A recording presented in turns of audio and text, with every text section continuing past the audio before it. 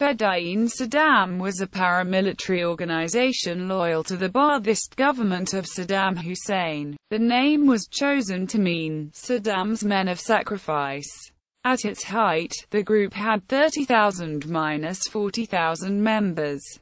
Irregular forces. The Fedayeen Saddam was not part of Iraq's regular armed forces but rather operated as a paramilitary unit of irregular forces. As a result of this, the Fedayeen reported directly to the presidential palace, rather than through the military chain of command. Whilst paramilitary the Fedayeen were not an elite military force, often receiving just basic training and operating without heavy weapons. In this they were somewhat similar to the Basij of Iran or Shabiha militia of Syria. Much like other paramilitaries, the Fedayeen was volunteer-based and the units were never given an official salary. As a result, most of the members resorted to extortion and theft of property from the general population. Even though the members had access to sanction-evading trade and high-quality services and a general standard of living considerably higher than that of the average Iraqi of the time.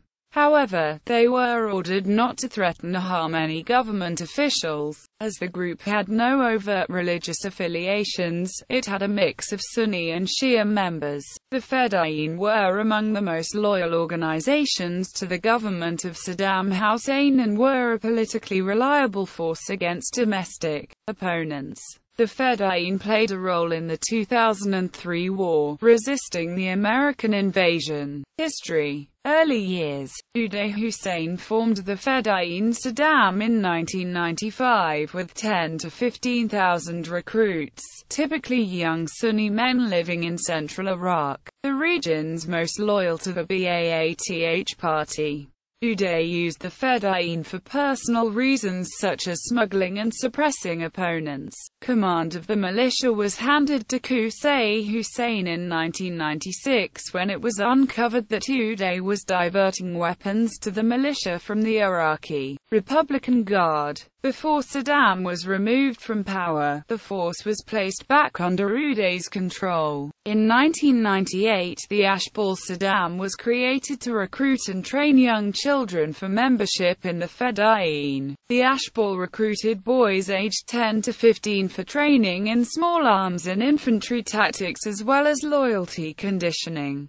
2003 invasion of Iraq. The Fedayeen Saddam did not rise to major international attention, however, until the 2003 invasion of Iraq by U.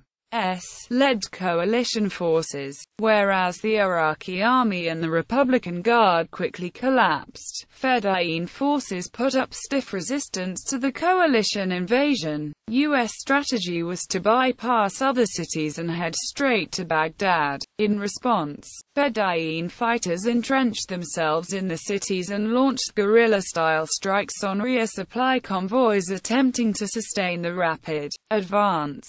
The Fedayeen also used intimidation in an attempt to maintain morale in the Iraqi army and to keep civilians from rebelling. The multinational coalition was forced to turn its attention to the slow task of rooting out irregular forces from the southern cities, delaying the advance by two weeks. During the invasion, Fedayeen fighters wielded AK-47 assault rifles, rocket-propelled grenades, machine guns, and truck-mounted artillery and mortars. They made extensive use of subterfuge in an attempt to blunt the overwhelming technological advantage used by the invading forces. By the end of the first week of April, coalition forces had mostly succeeded in rooting out Fedayeen forces from the southern cities. The Shiite population was very unsupportive of the fighters, although many were intimidated. This factor, coupled with overwhelming firepower, quickly gave U. S. forces in the area a decisive edge. This reduced the pressure on the stretched supply lines, enabling the advance to continue. On April 9, Baghdad fell to American forces with only sporadic resistance by Fedayeen irregulars, foreign volunteers, and remnants of the Special Republican Guard, effectively ending the government of Saddam Hussein. Tikrit, the last city to fall, was taken on April 15. 13th.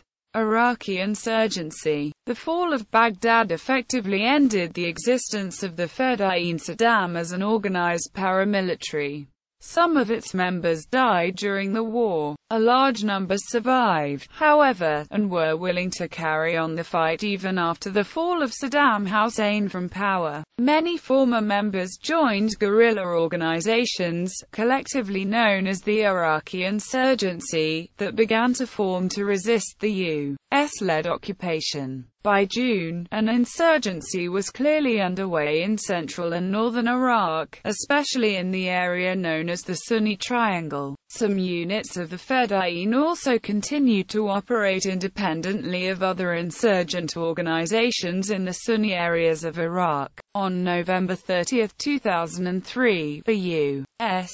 convoy traveling through the town of Samarra in the Sunni Triangle was ambushed by over 100 Iraqi guerrillas, reportedly wearing trademark Fedayeen Saddam uniforms. Exactly how much influence they had in the resistance, especially following Saddam Hussein's capture on December 13, 2003, was a source of controversy.